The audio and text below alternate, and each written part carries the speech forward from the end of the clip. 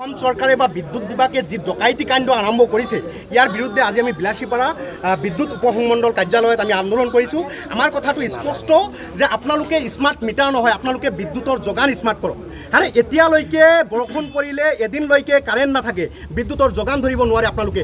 চৌব্বিছ ঘণ্টা আপোনালোকৰ বিদ্যুৎ যোগানৰ প্ৰতিশ্ৰুতি ক'ত গ'ল? হা?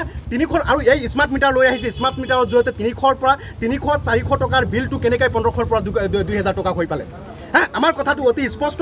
কৃষক মুক্তি ছাত্ৰ মুক্তি সংগ্ৰাম সমিতিৰ নেতৃত্বত এই স্মাৰ্ট যি ডকাইতি চৰকাৰে বিদ্যুৎ বিভাগে নমাই আনিছে সাধাৰণ ৰাইজৰ ওপৰত। এই ডকাইতিৰ বিৰুদ্ধে ভয়াৱহ আন্দোলন ক'ব আমাৰ আন্দোলন চলি আছে আন্দোলন আন্দোলন অব্যাহত থাকিব। উপমণ্ডলৰ কাৰ্যালয়ৰ সন্মুখত আজি আমি এই যিটো স্মাৰ্ট মিটাৰ আছে এই স্মাৰ্ট মিটাৰ ব- বন্ধৰ দাবীত আমি তিনিগুণীয়া প্ৰতিবাদী কাৰ্যসূচী আমি গ্ৰহণ কৰিছোঁ যে আপোনালোকে ইতিমধ্যে সকলোৱে জ্ঞাত যে স্মাৰ্ট মিটাৰ নহয় যে স্মাৰ্ট ডকাইতি দিন দুপৰীয়া কি কৰিছে? বিদ্যুৎ বিভাগে ডকাইতি আৰম্ভ কৰিছে। মানুহে ডকাইতি কৰে ৰাতি কিন্তু বিদ্যুৎ বিভাগে ডকাইতি কি কৰিছে? ৰাতি আৰম্ভ কৰিছে তেওঁলোকে। যে আপোনালোকে ইতিমধ্যে বিলাসীপাৰা বিভিন্ন বাতৰিত পৰিৱেশন কৰিছে যে লংকেশ্বৰ নাথ নামৰ এজন ব্যক্তিৰ বি পি এল মিটাৰ তত তেইছ হাজাৰৰ ওপৰত কি আছে বিল আহিছে। গতিকে তেওঁলোকে দিন দিনতে টকা দিয়া আৰম্ভ কৰিছে। গতিকে এনেকৈ যদি তেওঁলোক বিদ্যুৎ বিভাগে তথা অসম চৰকাৰে বিদ্যুৎ বিভাগৰ নামত যদি ডকাইতি কৰে তেনেহ'লে সাধাৰণ জনতা ক'ত যাব? যি সময়ত সাধাৰণ জনতাই জনতাক চৰকাৰে নিৰাপত্তা দিব লাগে সেই সময়ত চৰকাৰে কি কৰিছে?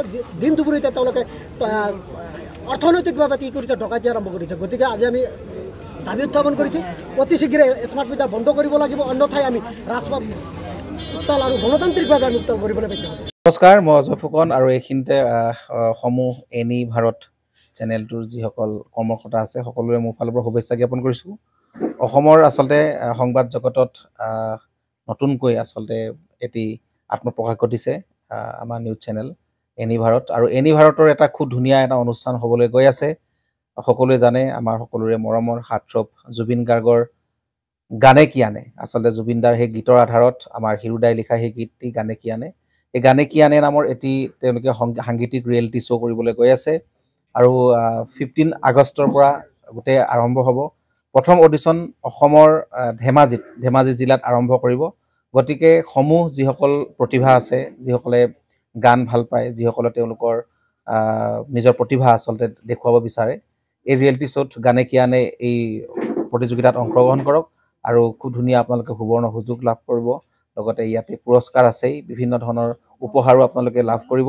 আৰু লগতে এগৰাকী প্ৰতিষ্ঠিত আচলতে এগৰাকী শিল্পী হিচাপে অসমৰ সাংস্কৃতিক জগতত আপোনালোক প্ৰতিষ্ঠা লাভ কৰিব। গতিকে গোটেই অনুষ্ঠানটোলৈ মোৰ ফালৰ পৰা শুভকামনা থাকিল আৰু লগতে এই অনুষ্ঠানটোত আপোনালোকে অংশগ্ৰহণ কৰিব। আমিও আছোঁ আৰু সকলোকে আমি লগ পাম। ধন্যবাদ।